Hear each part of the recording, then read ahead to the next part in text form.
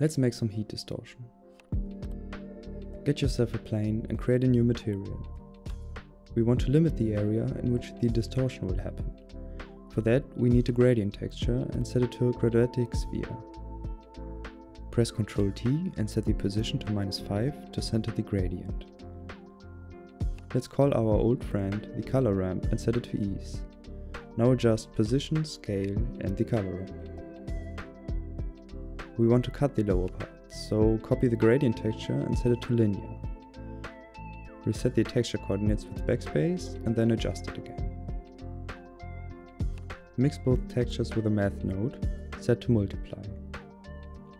To get heat ripples, we use a noise texture, set it up like the gradients before. Then copy the math node and connect your noise and the previous math node with it. Copy it once again, then set it to add with a value of 1.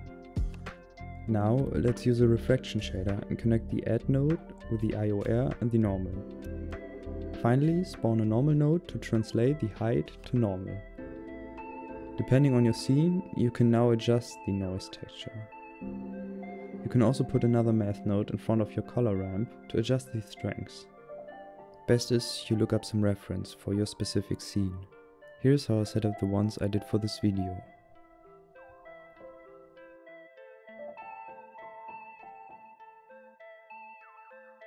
To animate it, you can set keys to the position of your noise texture. Also set it to 4D and animate the W.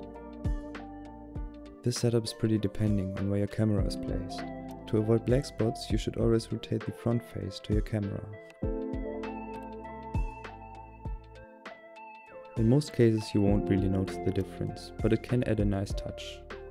It's especially nice for sundowns, for scenes with a warm and cold contrast, or in scenes with a hot flame.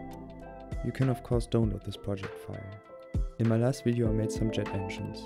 Under that is a project file with the engine you saw in this video, in case you want that. That's it. Have fun and enjoy your day.